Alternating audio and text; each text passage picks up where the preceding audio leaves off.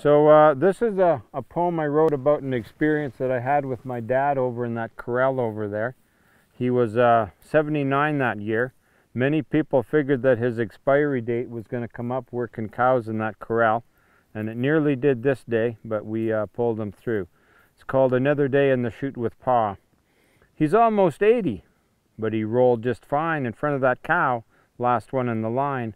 The line was 100. He had preg tested them all. They moved up the chute in response to the call.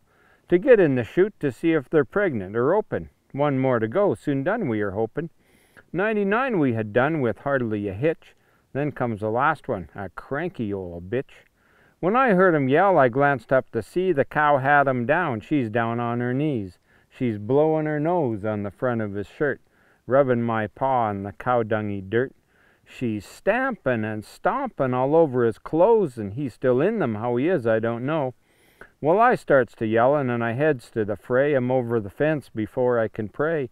I'm into the pen and advances real well, but the cow's still a snortin' and givin' him hell. I let out a yell and gets right in her face. She finally backs off about three pace. I grab his arm and pull him up on his wheels. We head for the fence. This here's a bad deal. Then she hits him again. I don't know just how. I'm pulling on Dad and pushing the cow. Then we lean on the rails and have a short breather, and the cow comes again, and we didn't tease her.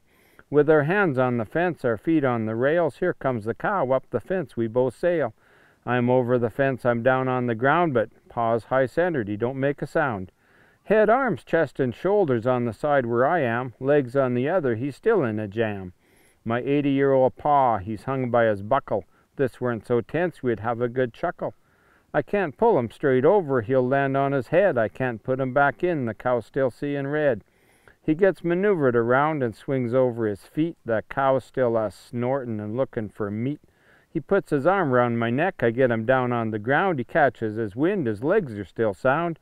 He's covered with dung from his head to his toes. His hat's in the pen. There's dung on his nose. I'm going to go and let out that old cow, but Dad says just wait, I'll preg test her now.